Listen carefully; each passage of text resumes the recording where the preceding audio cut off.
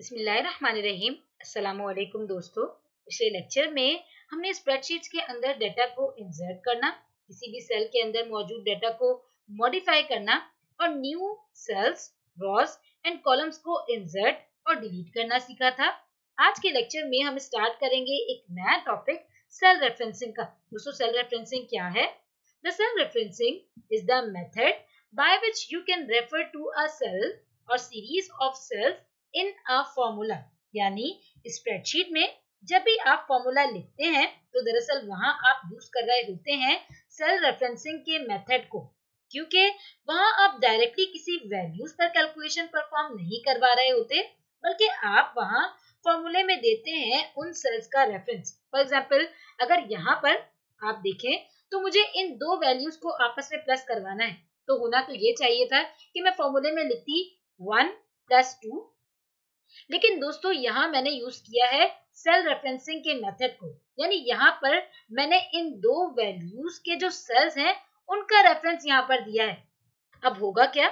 दोस्तों, आपका स्प्रेडशीट का सॉफ्टवेयर इन दोनों सेल्स पर जाएगा और ये सेल्स पर जाने के बाद उनकी वैल्यूज़ को उठाकर लाएगा और उठाने के बाद इनके ऊपर जो भी आप कैलकुलेशन परफॉर्म करवाना चाहते हैं, वो परफॉर्म कर देगा। दोस्तों, इसका एक फ़ायदा ये भी है कि आप अगर सेल रेफरेंसिंग को यूज़ कर रहे होते हैं तो आप जितने भी सेल्स के अंदर वैल्यूज़ पड़ी हैं, आपको जस्ट इनका रेफरेंस चेंज करना है। अगर मान लें, अभी आपको इन दो वैल्यूज़ को प्लस नहीं करना, आपको बी सी डी या फिर किसी और सेल में पड़ी वैल्यूज़ को प्लस करना है तो आपको बस क्या करना है, इन सेल्स के रेफरेंस को चेंज करना है और आपका जो आंसर है वो ऑटोमेटिकली आप जो चाहते हैं, वो आ जाएगा। तो दोस्तों सेल रेफरेंसिंग का फ़ायदा क्या है? Cell referencing tells formula to look up the contents of the reference cell. यानी ये सेल रेफरेंसिंग फॉर्मूला को बताता है कि जिन सेल्स को ये रेफर कर, कर रहा है उसमें डाटा क्या पड़ा हुआ है। जैसे कि अभी आपने देखा था कि यहाँ पर इस सेल रेफरेंसिंग ने इस फॉर्मूले को बताया कि जो, जो इन सेल्स में क्या डाटा पड़ा हुआ है। यानी ये जो सेल रेफरेंसिंग का मेथड है ये पहले इन सेल्स पर गया इनकी वैल्यूज़ को उठाकर लाया और उठाने के कर लाने के बाद इसने ये वैल्यूज़ इस फॉर्मूला को दे दी। और इससे फ़ायदा क्या है? This increases the flexibility of formula दोस्तों, इससे आपके फॉर्मूला की फ्लेक्सिबिलिटी बढ़ जाती है। आपको अलग अलग वैल्यूज़ टाइप करने की ज़रूरत नहीं होती। जस्ट आपने सेल का रेफरेंस चेंज किया, जिसका असर ऑटोमेटिकली आपके रिज़ल्ट पर पड़ जाता है। इसके अलावा, आपको बड़ी बड़ी वैल्यूज़ लिखने की भी ज़रूरत नहीं होती। दोस्तों, अगर मान लें ये सेल रेफरेंसिंग ना होता तो आप किस तरह से वैल्यूज़ को प्लस करते हैं? मान ले, अगर आपको एक बहुत दो बड़े बड़े ह्यूज नंबर्स को आपस में प्लस करना है तो आपको फॉर्मूला में वो नंबर्स ही टाइप करने पड़ते हैं। यानी यहाँ भी आप देख सकते हैं कि ये आप कितने बड़े बड़े नंबर्स आपको टाइप करने पड़ रहे हैं। और दोस्तों, ये तो बहुत छोटे छोटे नंबर्स है। जब आप किसी कंपनीज़ के फाइनेंस को हैंडल कर रहे होते हैं तो आप लाखों, करोड़ों बल्कि अरबों में बात कर रहे होते हैं। तो आप इतनी बड़ी बड़ी क्वांटिटीज अगर यहाँ लिखेंगे तो हो सकता है उन क्वांटिटीज को लिखने में आपसे कोई मिस्टेक हो जाए। जिसका असर आपके पूरे बिज़नेस पर भी पड़, सकता है। तो इसके लिए सेल रेफरेंसिंग का मेथड बहुत ही ज़्यादा हेल्पफुल होता है क्योंकि आपको इसके अंदर बड़ी बड़ी वैल्यूज़ नहीं लिखनी होती बल्कि आप जस्ट उन सेल्स के रेफरेंस उन सेल्स का रेफरेंस दे देते हैं और ये सेल रेफरेंसिंग खुद से उन सेल्स में पड़ी वैल्यूज़ को लाकर उस फॉर्मूले को दे देता है। तो इससे आपका काम बहुत ही ज़्यादा आसान हो जाता है। और फ्रेंड्स याद रखें फॉर्मूला में आप जिस भी सेल्स को रेफर कर रहे होते हैं तो रेफरेंस आप क्या देते हैं? अभी आपने देखा कि हमने रेफरेंस क्या दिया था? The cell is always referred by its address यानी आप हमेशा सेल्स को रेफर करेंगे उनके एड्रेसेस से। जैसे कि अगर कोई सेल है, इस तरह से, यानी अगर आपकी वैल्यू पड़ी है इस सेल में, ये वैल्यू है तो आप इसको रेफर क्या करेंगे? आप इस सेल का एड्रेस उस फॉर्मूले में लिखेंगे जो कि इस वक्त है ए वन तो याद रखिए हमेशा जो हम सेल को रेफर करते हैं वो उनके एड्रेसेस से रेफर करते हैं। और एक और अहम बात कि अगर आपका फॉर्मूला कंटीजियस सेल पर मुश्तमिल है इस तरह से फॉर एग्ज़ाम्पल आपके पास यहाँ पर चार सेल्स हैं जिनकी वैल्यूज़ को आपस में आपको प्लस करना है तो आप उनको प्लस करने के लिए ये फॉर्मूला लिखेंगे। इसके अलावा भी आपको स्प्रेडशीट एक फीचर प्रोवाइड करती है, जिसके ज़रिए आपको तमाम सेल्स के रेफरेंस लिखने की ज़रूरत नहीं है। बस जस्ट आपने सेल फ़र्स्ट सेल का और लास्ट सेल का आपने रेफरेंस देना है और बीच में लगा देना है कॉलम तो स्प्रेडशीट ऑटोमेटिकली उन सेल्स के बीच में जितने भी सेल्स हैं, उनकी वैल्यूज़ को भी उठाकर ले आएगी. यानी ये जो ये फॉर्मूला है, ये आप ऑटो इस तरह से भी लिख सकते हैं. यानी आप लिखेंगे एड्रेस ऑफ़ फ़र्स्ट सेल उसके बाद आप इस तरह का कॉलन लगाएँगे और फिर लिखेंगे एड्रेस ऑफ़ लास्ट सेल दोस्तों बताने, ये ये तो मैंने सिर्फ़ चंद सेल रेफरेंस दिए हैं. मतलब चंद सेल्स के रेफरेंस यहाँ पर लिखे हैं. जब हम बड़ी बड़ी कंपनीज़ स्प्रेडशीट पर काम कर रही होती है तो वो लाखों सेल्स के एड्रेसेस को आपस में प्लस करवा रही होती हैं, लाखों सेल्स की वैल्यूज़ को प्लस करवा रही होती हैं। तो अगर हम यहाँ पर लाखों सेल्स लिखने बैठ गए तो हमारा कितना वक्त जाया हो सकता है? तो इसके लिए जो है आपको ये फीचर प्रोवाइड किया है, जिसके ज़रिए आपको सिर्फ़ दो सेल्स के एड्रेसेस लिखने हैं और बीच में जस्ट कॉलन लगा देना है। तो ऑटोमेटिकली आपका आपकी स्प्रेडशीट तमाम सेल्स जो भी इन दोनों सेल्स के बीच में होंगे, उनकी वैल्यूज़ को उठाकर ले आएगा। और दोस्तों सेल्फ रेफरेंसिंग की दो टाइप्स होती है रिलेटिव रेफरेंसिंग और एब्सोल्यूट रेफरेंसिंग रिलेटिव रेफरेंसिंग क्या है? When a formula contains relative referencing then when it is copied from one cell to another the spreadsheet does not create an exact copy of the formula दोस्तों, यहाँ पर याद रखिएगा does not create an exact copy यानी उसकी बिल्कुल exact copy create नहीं कर सकता, करता।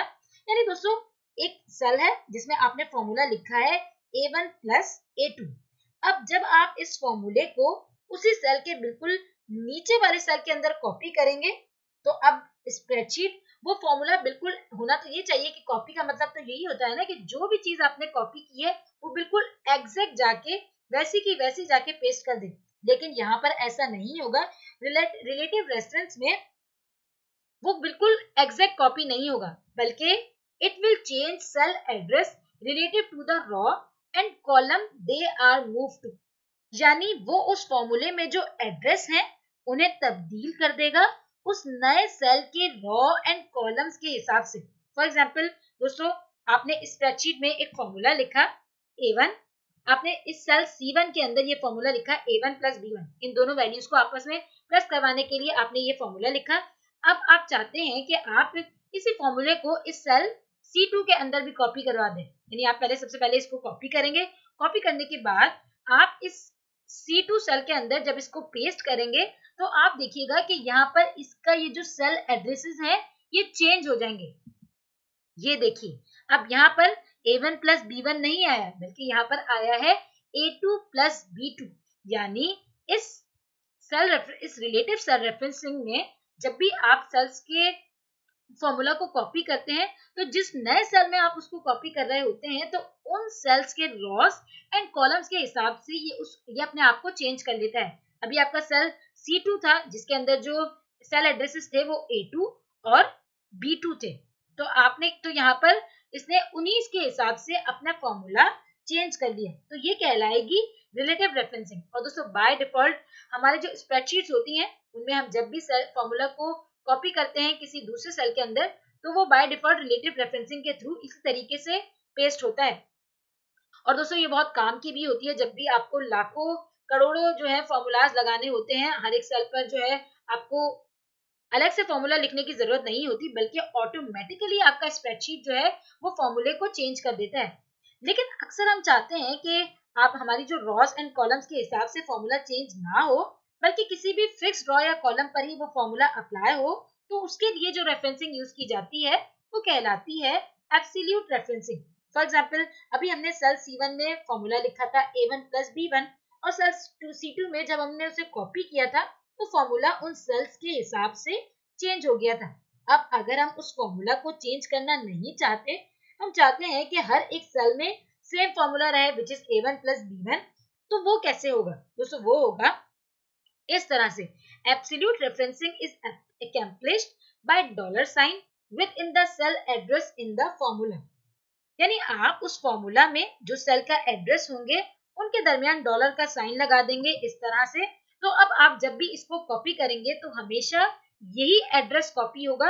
यही एड्रेस चाहे वो आप, ये देखिए, अभी हमने जो है यहाँ पर लिखा हुआ था, ये फॉर्मूला लिखा था which is A one plus B one और इसको एब्सोल्यूट बनाने के लिए हमने इसकी रॉस एंड कॉलम्स के साथ डॉलर का साइन लगा दिया था। अब मैंने इसको कॉपी किया इस तरह से और कॉपी करने के बाद मैंने इसको पेस्ट कर दिया अपने सेल सी टू में।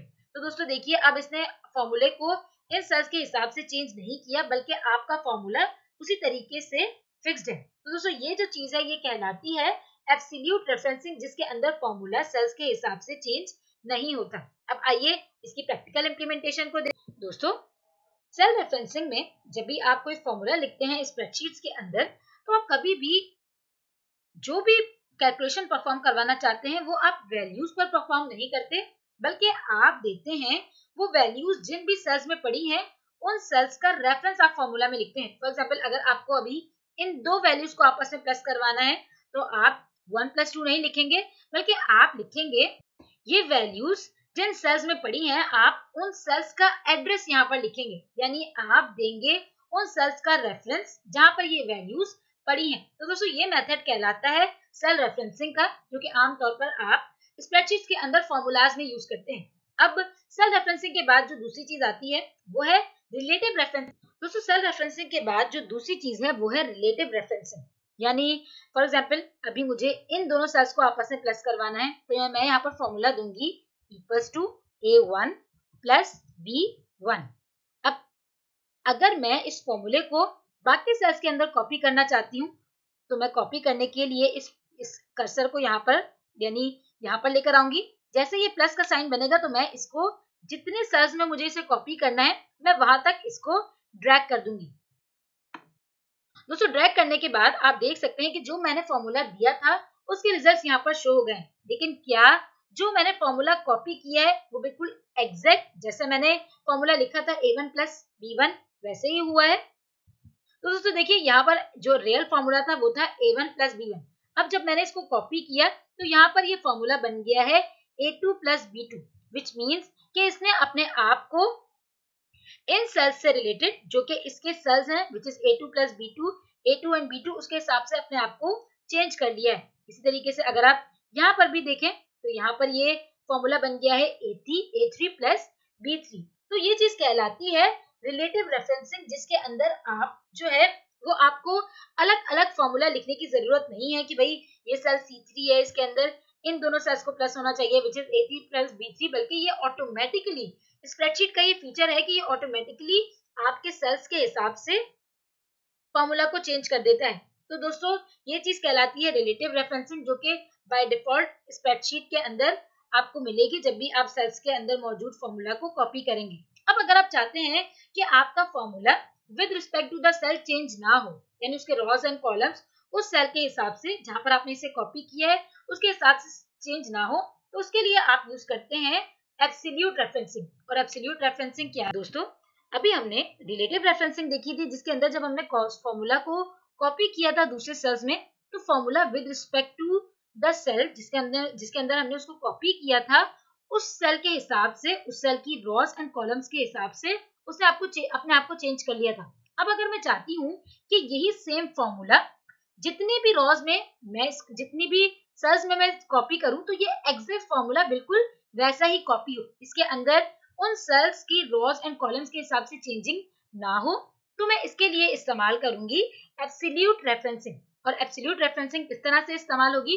मैं इसके अंदर रॉस एंड कॉलम्स को फिक्स कर दूँगी बाय अप्लाइंग डॉलर साइन तो दोस्तों, यहाँ पर जो कॉलम आपको नज़र आ रहा है, आप सबसे पहले इसके आगे जो है, आप डॉलर का साइन लगाएँगे, उसके बाद आप लिखेंगे कॉलम नेम उसके बाद आप रॉ के आगे भी डॉलर का साइन लगा देंगे इस तरह से। इसी तरीके से अब ये दूसरा सेल का एड्रेस है, इसके अंदर भी ये कॉलम और ये रॉ इन दोनों के आगे आप लगा देंगे डॉलर का साइन तो दोस्तों, अब ये आपका फॉर्मूला जो है, ये एब्सोल्यूट रेफरेंसिंग के थ्रू आपका फॉर्मूला बन गया है.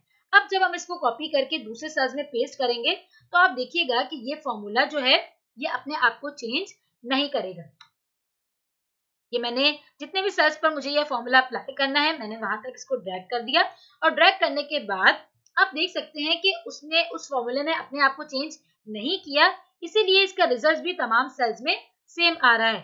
ये देखिए दोस्तों, यहाँ पर है ये formula A one plus B one जैसा कि हमने लिखा था।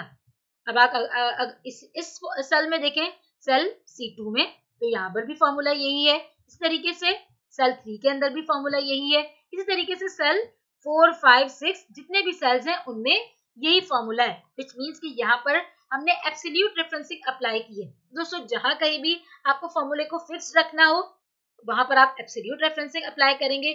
जहाँ पर आपको, आप चाहते हैं कि आपका जो फॉर्मूला है, वो with respect to the cell उसके रॉज एंड कॉलम्स की रिस्पेक्ट से चेंज हो, वहाँ पर आप रिलेटिव रेफरेंसिंग अप्लाई करेंगे। तो दोस्तों, ये था सेल रेफरेंसिंग अगले लेक्चर में अब हम एक नए टॉपिक का आगाज़ करेंगे विच इज़ नेम रेंजेस तब तक के लिए अल्लाह हाफिज।